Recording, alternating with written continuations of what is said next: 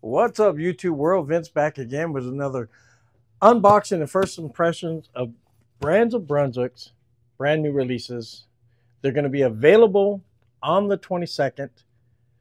And today we're going to work with the brand new Ultimate Defender. Now, if you remember the very first one, the Defender Hybrid was the first one came out with the HK22, and that ball was phenomenal. Now, they came out with this one.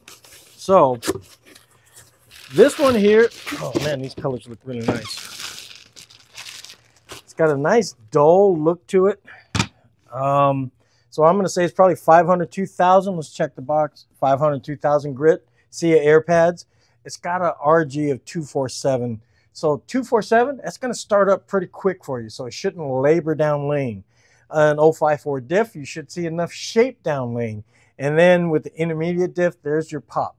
It's right around the medium, so it's not going to be a big hooking ball, but you're going to see uh, some good shape out of it. So being 500, 1500, these colors are really, really nice, really pop really, really well. Great shelf appeal. Um, yeah, dot technology. Uh, so use your favorite layout. Don't worry about where you land next to this because this is just a mirror image of the actual pin, which is down here. All right. Um, yeah, this ball, um, uh, it should be able to get you through some of the, the medium volume. I don't think it's going to be a heavy volume oil ball type of thing. Um, it's probably going to be like typical nice house shot down and in players should be okay. Uh, some of you seniors that um, have slower ball speed, I would suggest using a short pin layout to get it to go there. Um, yeah, it's going to be available. You can or pre-order it now on uh, bowlersmart.com or pick it up on the 22nd at your favorite Bowlers Mart shop.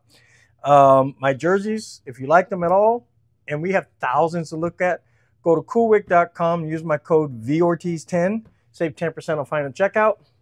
And uh, as always, if you haven't already, uh, please like and subscribe to my videos. It helps me as I try to help you. Um, yeah, so there we go. The Ultimate Defender Hybrid. Ultimate Defender, sorry, not hybrid.